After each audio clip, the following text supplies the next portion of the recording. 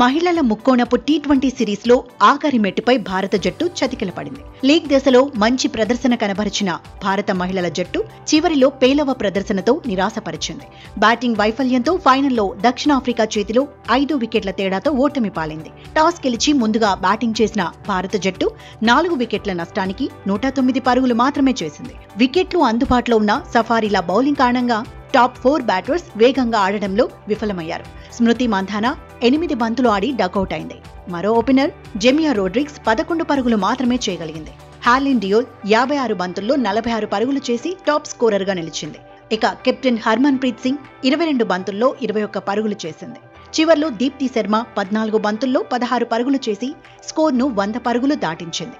ఇక దక్షిణాఫ్రికా పద్దెనిమిది ఓవర్లలో ఐదు వికెట్ల నష్టానికి నూట పదమూడు పరుగులు చేసి విజయాన్ని అందుకుంది. దక్షిణాఫ్రికాను కట్టడి చేసేందుకు బౌలర్లు తీవ్రంగా ప్రయత్నించారు.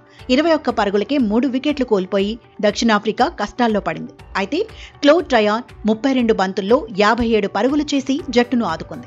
ఇక భారత all-rounder Deepti Sharma player of the టోర్నీగా నిలిచింది.